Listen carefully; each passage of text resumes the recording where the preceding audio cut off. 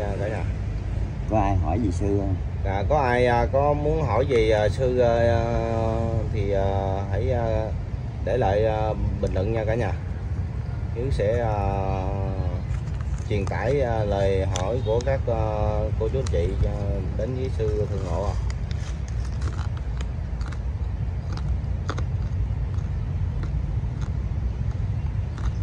có ai hỏi gì sư thường ngộ không cả nhà ơi? Từ từ người ta viết chứ chứ chứ Đó nè. Nhìn kỹ mình đừng chạy lại gì bình luận à, quá nhiều chạy quá kéo nhanh. là kéo lại. Hả? Kéo lại. Này vô thôi mới vô thôi. Để cái nào mà nó nó nó đứng lại cái nào ta hỏi mình bấm đứng Dạ. thì à, buổi sáng hôm nay à, sư thường ngộ cũng đã thọ thực xong rồi nha cả nhà Đó.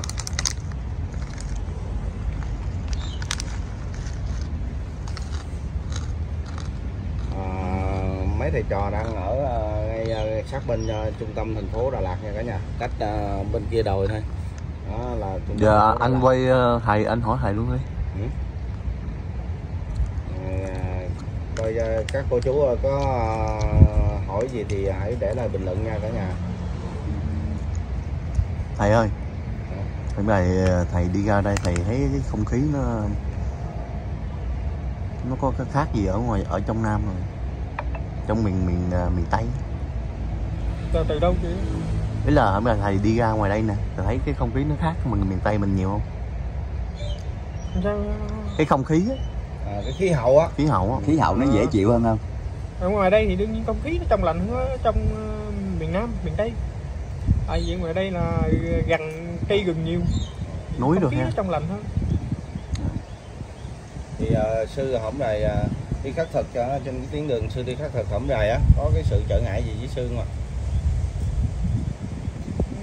Cái đó thì mình phải ờ, không có gì phải trở- trở ngại hết.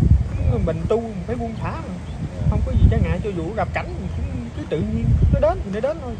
Còn cho dù mình có tránh tránh nó đi chăng nữa thì nó cũng sẽ đến. Dạ.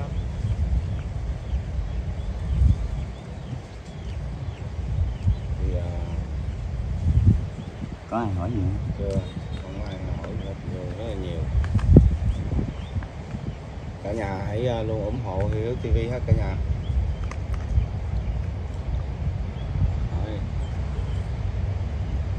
Cả nhà luôn ủng hộ ờ, sư ờ, thường ngộ.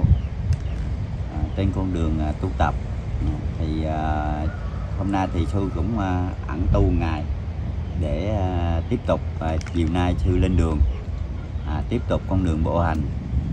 Thì à, cũng mong à, những à, cô chú anh chị phật tử mà khi thấy sư à, đi ngang qua thì cô chú anh chị mình à, có đảnh lễ xong thì cô chú anh chị mình cũng đừng đi theo à, cũng đừng à, bu đông quá.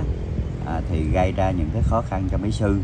Thì à, mong cô chú anh chị mình đảnh lễ xong thì coi như là đi về để cho sư à, tiếp tục à, trên con đường à, tu tập à, của sư à, thì cũng à, mong cô chú anh chị vậy thôi. À, thì à, khi mà tụi em cũng chia sẻ những à, cái video mà các sư à, tu tập rồi à, nơi các sư nghỉ rồi à, à, trên những con đường tu tập thì à, mong cô chú anh chị mình theo dõi ủng hộ mấy sư cũng như ủng hộ những anh em tụi em. À, thì à, cũng mong cô chú anh chị mình à, thương và ủng hộ mấy à, sư đi trên con đường nên à, tu tập thì à, mình đảnh lễ thì sư à, cũng rất là mừng à, đảnh lễ xong thì cô chú anh chị mình hoan hỷ. À, rồi cũng à, tránh qua một bên để cho sư đi. Còn bây giờ mình bu đông quá thì à, cũng gây khó cho sư.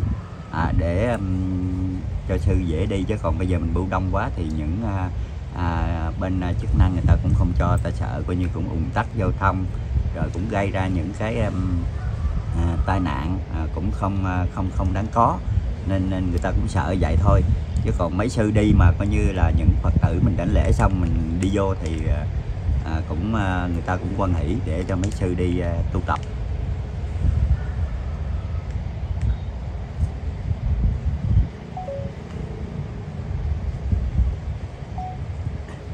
Thì à, cả nhà trong có lời hỏi nào không ạ? Trong suốt thời gian vừa qua đi với thầy trong mấy ngày nay á anh có cảm nhận được là trên con đi con đường của thầy đi có ờ,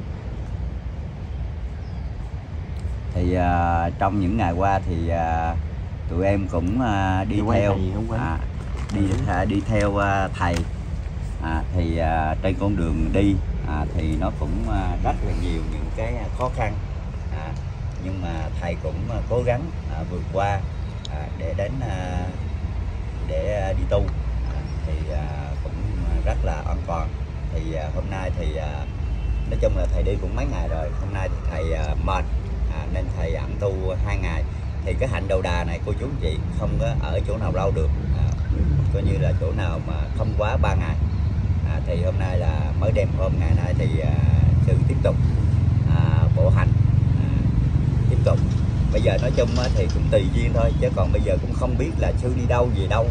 Tại vì theo cái hạnh đầu đà này coi như là bốn bể là nhà. À, nên đi tới đâu là cũng là nhà của sư à, đi tới đâu ở cũng là nhà nên là coi như là không có nhà cửa nên là coi như là cũng không biết. Tùy duyên à, coi như là thư đi tới con đường nào mà tới ngõ ba ngõ tư tùy duyên cái chỗ nào mà thư sư cảm thấy đi được là sư đi thôi. À, thì cũng mong cô chú anh chị mình nếu mà ai có duyên á, thì sẽ gặp được các sư. Còn nếu không có duyên thì cũng à, quan hỷ. À, thì cũng không biết nói sao hơn bây giờ à, thì cũng cũng có nhiều cái video lên thì cô chú anh chị hỏi là sư đang đi ở đâu? À, sư đi về đâu? Thì cái đó tụi em đi theo nhưng mà thật sự tụi em cũng không biết. À, cứ cứ sư đi là tụi em đi theo quay thôi chứ còn để chia sẻ đến cô chú anh chị thôi chứ còn không biết là tụi em không biết là sư đi đâu về đâu. À, thí dụ hôm nay sư ở đây thì tụi em biết sư ở đây nhưng mà chiều á, sư đi đâu thì tụi em cũng không biết. À, thì cũng mong cô chú anh chị mình à, thông cảm à, quan hỷ cho sư và cũng như là các em ha. Anh phải nói cho rõ là không phải là chiều nay không phải là không biết mà không biết cái dự định của thầy là đi sắp tới là thầy sẽ đi đi đâu. Đúng rồi. Chứ anh nói là anh đi theo thầy anh em mình đi theo thầy mà anh nói chiều nay thầy đi đâu không biết là là khán giả người ta bắt lỗi mình á không biết á, là ở đây là mình không biết Không biết sư, trước. à, không biết trước là sư đi con đường nào à, đi đến đâu. À, chỉ sư đi đến đâu là tụi em đi theo đến đó để chia sẻ à, thôi. đúng rồi. À, chứ còn không biết là tụi em không biết là ví dụ bây giờ cái hướng đi à, nói chung á là các thầy đi á là đi theo cái sự là hữu duyên. Hữu duyên. Cũng như là tính đi đó nhưng mà bất chợt bất chợt có một cái gì đó giống như một cái con đường thẳng gì đó mình đang đi nó đang láng một chiếc trên một cái chiếc ờ, đoạn đường xe mình chạy đang láng đi bỗng nhiên có một ổ gà chính giữa thì mình phải né qua một bên đúng không? Né khác đâu có đi thẳng được. Đi thẳng được. Thì cái câu chuyện nó cũng giống như thầy đó không nói trước được. Giống như là hữu duyên. Con đường nào đi thì thầy đi.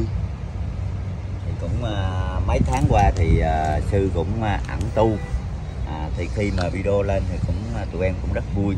Là những cô chú anh chị à, những anh chị phật tử cũng vẫn còn nhớ đến sư à, bởi tụi em rất là vui khi mà những cái video vừa đăng lên đó à, là cô chú chị vô "Ồ, à, lâu quá bữa nay mới gặp sư.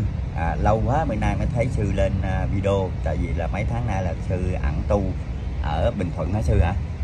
À, sư ẩn tu gần à, gần 3 tháng hai tháng mấy á, ở bình thuận. hỏi cho thầy trả lời cái rồi nói tiếp. Đó thầy gục đầu rồi chứ anh hỏi hoài rồi sao sư nói chuyện sư cho con hỏi những cái à, ngày qua sư đi bộ hành á thì à, các cô chú anh chị á, cũng theo dõi sư rất là nhiều cũng biết sư rồi. Thì à, có những cái à, gì mà sư à, gặp cái trở, trở ngại á sư có thể chia sẻ à, cho các phật tử biết được không ạ?